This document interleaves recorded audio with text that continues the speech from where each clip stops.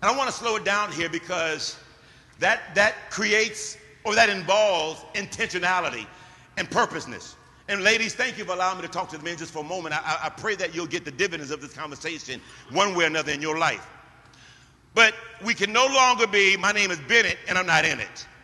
We can't be the ostrich who sticks his head in the sand, who, who sees no evil, knows no evil, hears no evil.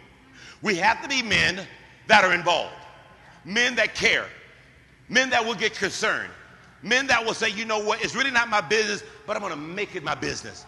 Because the question God asked in the Old Testament was, Are you your brother's keeper? In fact, the question was asked, was, Am I my brother's keeper? And the answer is yes, we should be our brother's keeper. Why are we so fragmented in our community? And it almost seems like we're the only community that wants to see ourselves struggle.